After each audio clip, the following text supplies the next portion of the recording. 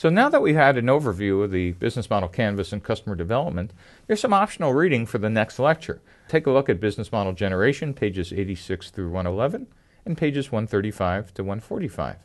And in the Startup Owner's Manual, take a look at pages 51 to 84 about market size, and then take a look at uh, pages 188 to 199 and pages 457 to 459.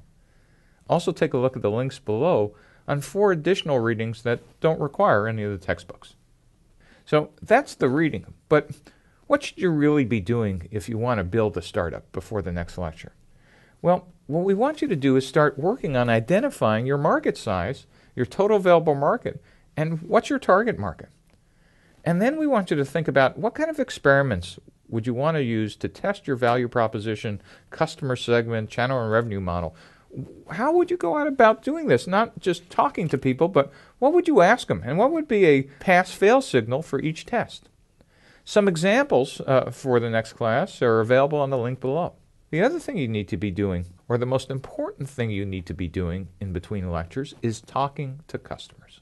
And if you're not talking to at least 10 potential customers between these lectures, you're really not going to have enough mass, enough data to actually get some insights.